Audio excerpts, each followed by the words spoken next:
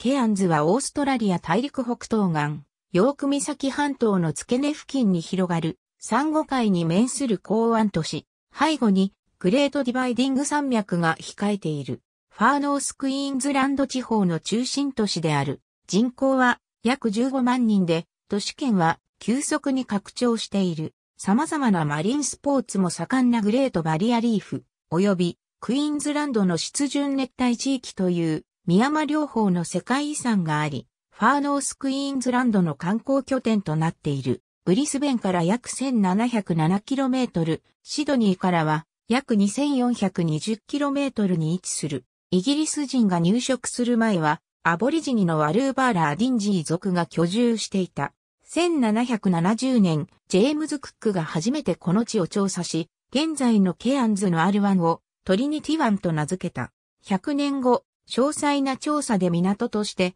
有効な地形であるとわかると、1876年、トリニティ湾の入り江の背後の高原にあるホッチキンソンで発見された金を船積みする必要から、急ごしらえで作られたのが今日のケアンズの町である。土地は大部分がマングローブの生い茂る沼地や砂丘であったが、宅地に変える作業が続き、砂糖きび、トウモロコシ、米、バナナ、パイナップル等の農業用地の開墾も進んだ。金の積み出しルートは、ポートダグラスに変わられたが、農業の成功により、都市として自立が可能となり、1906年には港湾機能も整備された。ケアンズの名前の由来は、クイーンズランド州の知事であったウィリアム・ケアンズにちなんでいる。第二次世界大戦中は連合国の戦略拠点として空軍基地や飛行艇の基地が設けられ、産後海海戦の出撃拠点の一つとなった。戦後は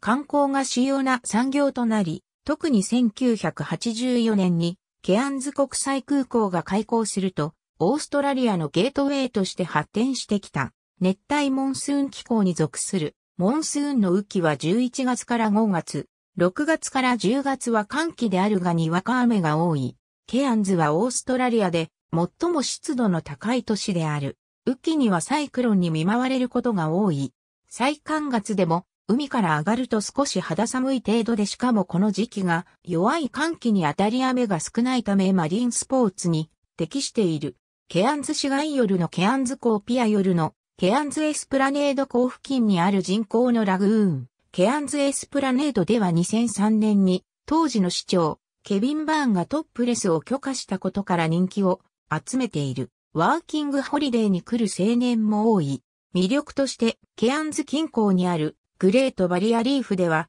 サンゴ礁などの大自然に恵まれているため、ワーキングホリデー協定締結国の中で最も、マリンスポーツが楽しめ、各種アクティビティやスポーツ施設が充実している。オーストラリアは、一定の条件を満たすことにより2回目のワーキングホリデービザ取得が可能である。日本から近い上、時差が少なく、治安が良い、親日的なものが多い。物価の家賃や食費などが安い上、熱帯性気候のため、暖房もほとんど必要なく、洋服などにあまりお金がかからないので生活費を安く上げることができる。仕事が多い。日本語が観光業やサービス業など給食上有利に働く。しかし、近年は日本人観光客の減少を受け、仕事も減少している。ケアンズ近郊の町では、ダイビングなどのマリンスポーツ指導員や果樹収穫の仕事もある。日本語情報が豊富である。